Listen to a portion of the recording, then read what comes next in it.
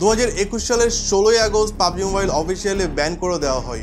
যে সময়টা বাংলাদেশে পাবজি মোবাইলের ক্রেজ ছিল একদম আকাশচুম্বী। ওই সময়টা আমি মনে করি পাবজি মোবাইল একটি প্রাইম টাইম কাটা ছিল। এমন অবস্থায় ব্যানের কারণে পাবজি মোবাইল সিনারিও একদম গুমড়ি খেয়ে পড়ে। কিন্তু কোন সিনারিওতে প্রভাব পড়েছে? যে কারণগুলোতে পাবজি ব্যান করা হয়েছিল সেগুলোর উপরে?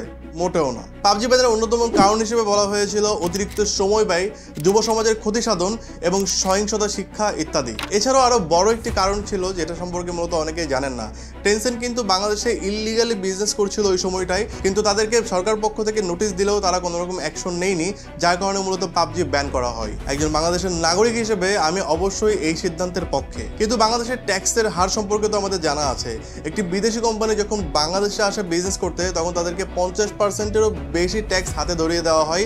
তো পাবজি মোবাইল কিন্তু বাংলাদেশে এত বড় মার্কেট তৈরি করতে পারেনি যে তারা পঞ্চাশ পার্সেন্টের বেশি ট্যাক্স দিয়ে বাংলাদেশে বিজনেস করবে। তো এখন আসা যাক পাবজি ব্যানের পরে আমাদের কি কি উপকার হয়েছে বা আদৌ হয়েছে কিনা। যে সকল সাধারণ প্লেয়ারদের আসক্তি দূর করার জন্য পাবজিকে ব্যান করা হয়েছে, তাদেরকে কি আদৌ গেমটা থেকে দূরে রাখা গেছে? মোটেও না। সেই শুরু থেকে এখনও পর্যন্ত তারা গেমটা খেলে যাচ্ছে।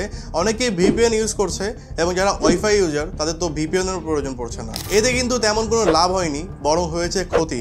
বাংলাদেশের সব থেকে বড় ই স্পোর্টস কমিউনিটি ছিল পাবজি মোবাইলে এবং এটা কিন্তু গেমিং কমিউনিটির কম বেশি সকলেই জানেন। বাংলাদেশে ই স্পোর্টসের পরিচিতি কিন্তু পাবজি মোবাইলের হাত ধরেই।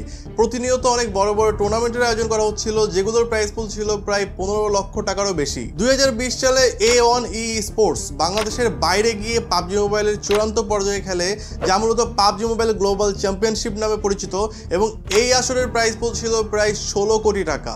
সো পাবজি ব্যান হওয়ার পর থেকে বাংলাদেশের ন্যাশনাল পর্যায়ে কোনো টুর্নামেন্টের আয়োজন করা হয়নি এবং যারা মূলত ই স্পোর্টস প্লেয়ার ছিল, তাদেরকে নিজেদের টাকা খরচ করে দেশের বাইরে গিয়ে এই ধরনের টুর্নামেন্ট এখনও পর্যন্ত খেলতে হয়। তাহলে লাভটা কি হলো এখানে?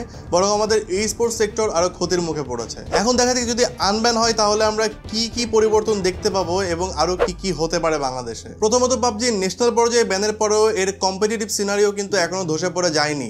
বরং বাংলাদেশে অন্যান্য যত গেম আছে, তার মধ্যে পাবজি এখনও পর্যন্ত রাজত্ব করে যাচ্ছে এই সেক্টরে অর্গানাইজেশনগুলো তেমন রেপুটেড না হওয়ার পরেও প্রতি বছর লক্ষ লক্ষ টাকার টুর্নামেন্ট হচ্ছে এবং অর্গানাইজেশনগুলো লক্ষ লক্ষ টাকা বিনিয়োগ করে যাচ্ছে এই সেক্টরে যদি পাবজি মোবাইল এই মুহূর্তে আনব্যান হয়, তাহলে আমরা যে সকল টুর্নামেন্ট আগে দেখতে পেতাম, সেগুলো আবারও দেখতে পাবো, যেমন পিএমএনসি পিএমসিসি পিএমসিও ইত্যাদি। এছাড়াও বিশাল বিশাল টুর্নামেন্টের আয়োজন কিন্তু করবে বাংলাদেশের সকল রেপুটেড গেমিং অর্গানাইজেশনগুলো আমি ডিসকভারি ওয়ানের হেড অফ মার্কেটিং রাফসান ভাইকে জিজ্ঞেস করেছিলাম, যদি পাবজি আনব্যান হয়, তাহলে কি তাদের পক্ষ থেকে কোনো টুর্নামেন্ট থাকবে কিনা?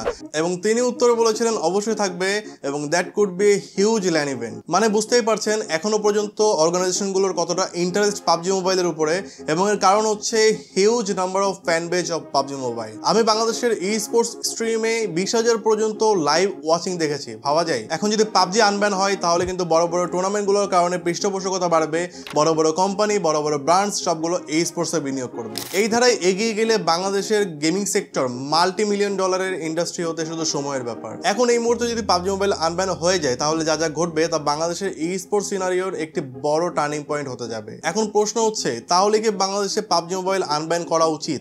মাথা ব্যথা হলে মাথা কাটা নয়। বরং মেডিসিন নিতে হয়। তেমনই গেম ব্যান না করে কিছু রেস্ট্রিকশন নিয়ম এবং টাইমিং সেট করে দেওয়া উত্তম বলে আমি মনে করি। সো আজকের ভিডিও এই পর্যন্তই। আপনারা যদি আমার কথার সাথে একমত হয়ে থাকেন, তাহলে এই ভিডিওটা এত পরিমাণে শেয়ার করবেন যেন উপর পর্যায়ে যারা বসে আছেন, তাদের নজর অন্তত পড়ে। দেখা হচ্ছে আপনাদের সাথে পরবর্তী কোনো ভিডিওতে ততক্ষণ পর্যন্ত ভালো থাকবেন, সুস্থ থাকবেন এবং সবাই মিলে আওয়াজ তুলবেন। Bye bye